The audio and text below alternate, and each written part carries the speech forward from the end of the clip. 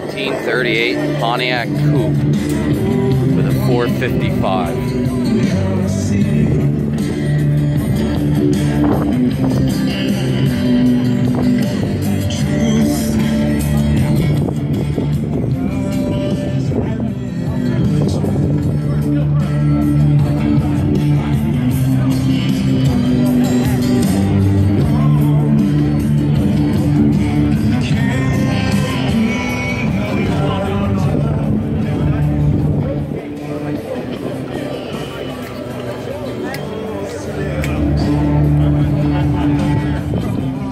Thank